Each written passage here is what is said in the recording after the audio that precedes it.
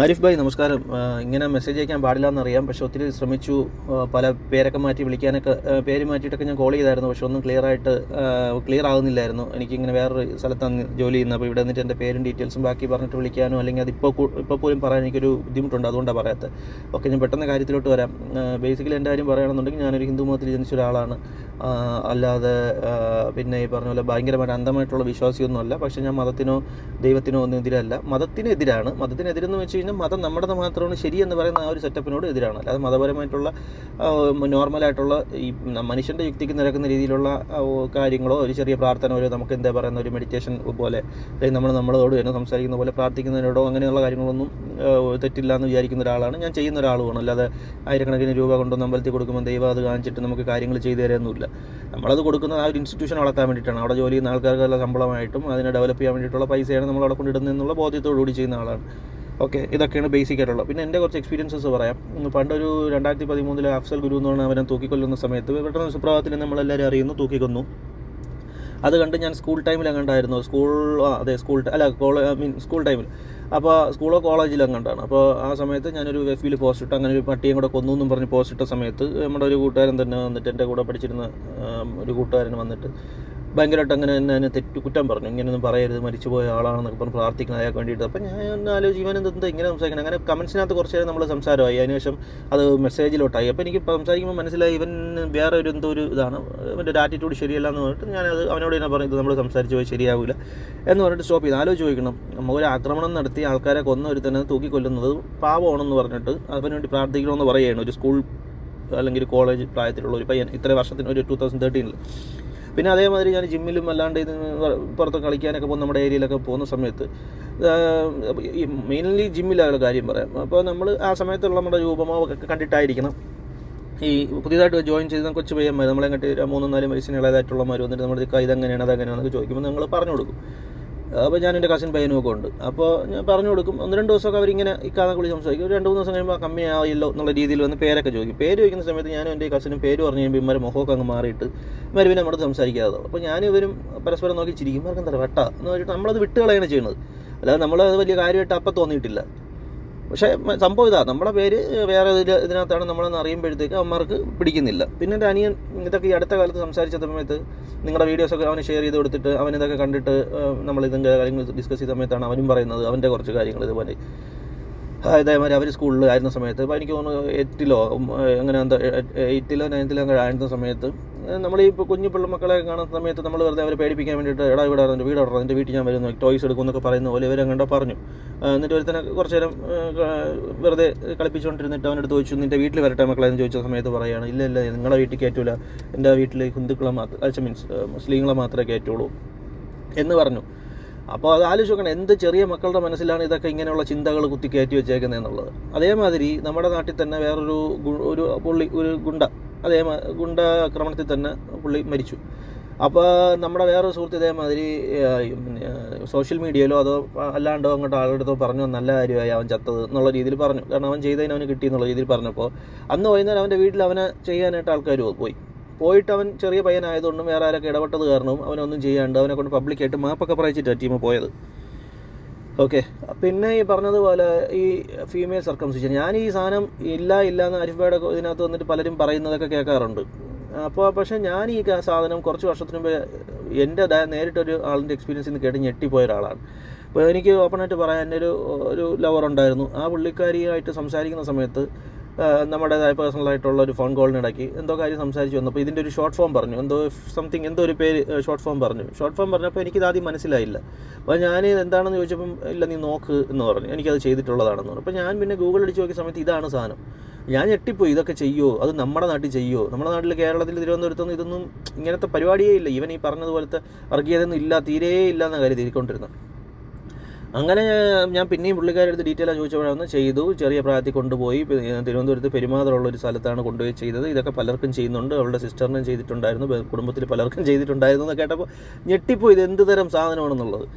ഈ ആണുങ്ങൾക്ക് ചെയ്യണതും കണക്ക് തന്നെയാണ്. ഇപ്പം ഇടയ്ക്ക് പറയുന്ന നല്ല ഉദാഹരണങ്ങൾ കേട്ടായിരുന്നു. ഇപ്പോൾ ബ്രസ്റ്റ് ക്യാൻസർ ലോകത്ത് കൂടിക്കൊണ്ടിരിക്കുന്നല്ലോ ഒരുപാട് ഉണ്ട്. എന്ന് വെച്ചിട്ട് എല്ലാവരും ജനിച്ചപ്പോൾ അല്ലെങ്കിൽ ഇത് വന്ന ഉടനെ ഈ സാധനം ബ്രസ്റ്റ് റിമൂവ് ചെയ്യുമോ അല്ലെങ്കിൽ മറ്റേ നമ്മുടെ പ്രോസ്റ്റേറ്റ് ക്യാൻസർ അല്ലെങ്കിൽ എന്തായാലും എടുത്ത് ഉടനെ കളയുമോ എന്ന് ചോദിക്കുന്ന ഒരു കോൺസെപ്റ്റാണ് ഇതിനകത്ത് എനിക്ക് തോന്നിയിട്ടുള്ളത്. കറക്റ്റാണ് അപ്പം ഫീമെയിൽ സർക്കംസിഷൻ ഉള്ള ഒരു സാധനമാണ്. എനിക്കത് ഉറപ്പായിട്ടും അറിയാമെന്നുള്ള കാര്യമായിട്ട് പിന്നെ നമ്മുടെ പല സുഹൃത്തുക്കളുമായിട്ടും ഈ അടുത്ത കാലങ്ങളിലൊക്കെ ഈ വിശ്വാസങ്ങളെ പറ്റി പറയുമ്പോൾ ഞാൻ ഞാൻ പറയുന്നത് എല്ലാം ഒരു ഇതിന്റെ എല്ലാം ഒന്ന് തന്നെ അല്ലേ? ഞങ്ങൾ നമ്മളെല്ലാവരും ഒന്ന് തന്നെയാണ്. പല വഴി കൂടെ പോയാലും ഇതെല്ലാം ഒന്ന് തന്നെയാണെന്ന് പറയുന്ന സമയത്ത് അവരുടെ ഒന്നെന്ന് പറയുന്നത് വേറെയാണ്. അവരുടെ ഒന്നെന്ന് പറഞ്ഞാൽ ഒരു കുടക്കീഴിലാവുക.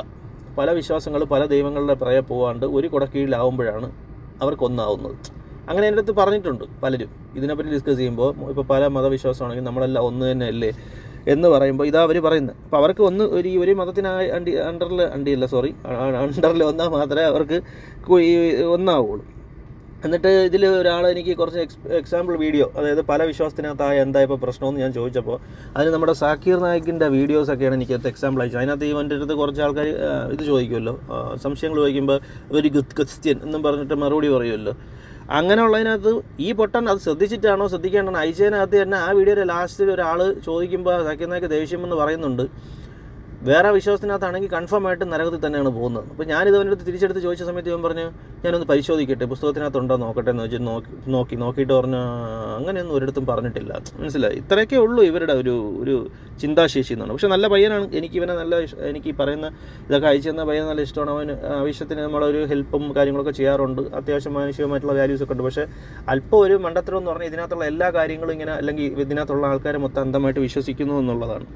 ഞാൻ നോട്ട് ചെയ്ത് വെച്ചിട്ടാണ് സംസാരിക്കുന്നത് അല്ലെങ്കിൽ ലേറ്റ് ആവുമെന്ന് വെച്ചിട്ട് പിന്നെ ഞാൻ പറയട്ടെ ഇപ്പം ഞാൻ എനിക്ക് പലപ്പോഴും തോന്നിയിട്ടുള്ള കാര്യം എന്ന് വെച്ചാൽ നമ്മൾ ഇതിനകത്തുള്ള ഈ നിങ്ങൾ ഈ നിങ്ങളെപ്പോലുള്ള ആൾക്കാരൊക്കെ ഇതിനകത്തുള്ള ഈ പൊള്ളത്തരമൊക്കെ പറഞ്ഞ് ശരിയാക്കാൻ നോക്കിയാൽ ഇവന്മാരൊന്നും ഇങ്ങനെയുള്ളത് ഏത് വിഭാഗത്തിനോടത്തുള്ള ആൾക്കാരായാലും ശരിയാവാനൊന്നും പോകുന്നില്ല ശരിക്കും പറഞ്ഞാൽ എനിക്ക് തോന്നുന്ന കാര്യം എന്ന് പറഞ്ഞാൽ ഒരു പ്രത്യേകതയും ഒരു ഒരു ഒരു വ്യത്യാസമോ ഇങ്ങനെയുള്ള ആൾക്കാർക്ക് ഈ ന്യൂനപക്ഷമാണെന്ന് പറഞ്ഞിട്ടോ അല്ലെങ്കിൽ വേറെ എന്തെങ്കിലും കാരണം കൊണ്ടോ കൊടുക്കാൻ പാടില്ല. അവർ ചെയ്യുന്ന പോലെ നമ്മളും ചെയ്യുക എന്നുള്ളത് മാത്രമാണ് നമ്മൾ മീൻസ് എല്ലാവരും ഒന്നുപോലെ അങ്ങ് ചെയ്യുക. ചെയ്യുന്ന സമയത്ത് പിന്നെ അവർക്ക് അവർ വീമ്പ് അങ്ങ് കുറയും. ഇത് പ്രത്യേക എന്തോ സാധനമാണ്. ഇവർ മാത്രം എന്തോ വലിയൊരു ഒരു പ്രത്യേക ഒരു ഡെലിക്കേറ്റ് ആയിട്ടുള്ള അല്ലെങ്കിൽ ഭയങ്കര ഫ്രജൈൽ അയ്യോ പറഞ്ഞു കഴിഞ്ഞാൽ ഉടനെ ഒരേ സമയത്ത് തന്നെ കിടിലങ്ങളും ആവുകയും ചെയ്യും ഭയങ്കര പാവം ആവുകയും ചെയ്യും. അങ്ങനത്തെ ഒരു സെറ്റപ്പാണ് അവരെ ബാക്കി എല്ലാത്തിലും അവർ ഭയങ്കര ഭയങ്കര സംഭവമാണ്. പക്ഷേ ഇവർ അതിനകത്തുള്ള തെറ്റോ വേറെ എന്തെങ്കിലും പറയാൻ പോയി കഴിഞ്ഞാൽ ഉടനെ പറയും അവർ ന്യൂനപക്ഷമാണ് അവരെ വേദനിപ്പിച്ച് അവർ തൊട്ടാവാടിയാണെന്ന് പറയും. അപ്പോൾ നമ്മൾ എന്ത് ചെയ്യുക?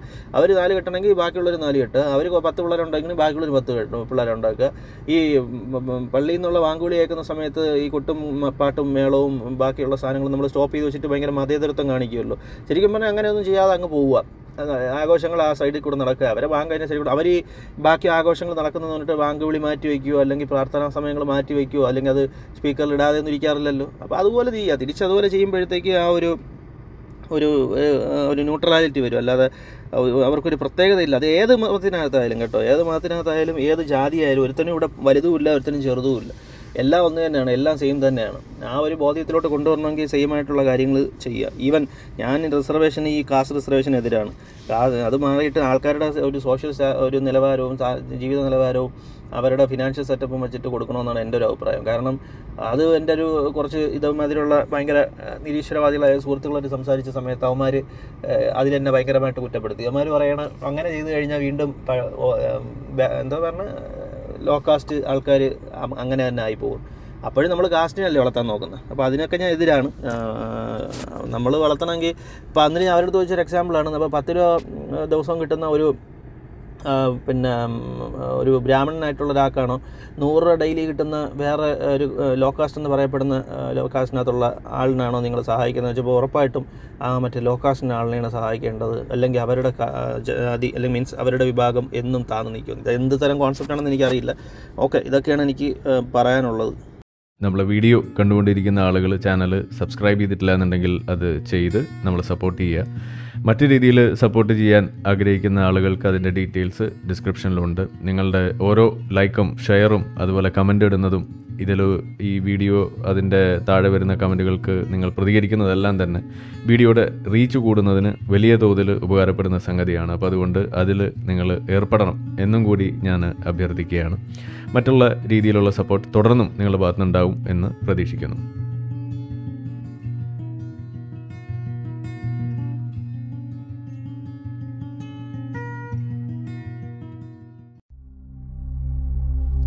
Dingahu Akbar, Dingahu Akbar, Dingahu Akbar, Dingahu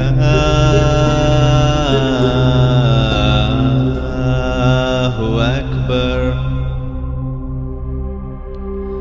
أشهد أن لا إله إلا دينغا أشهد أن لا إله إلا دينغا أشهد أن ميتم يا الرسول دينغا أشهد أن ميتم يا الرسول دينغا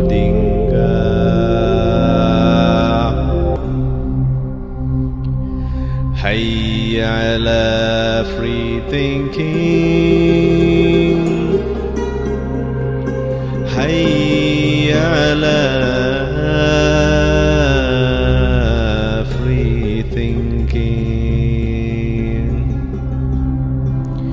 حي على scientific temper حي على scientific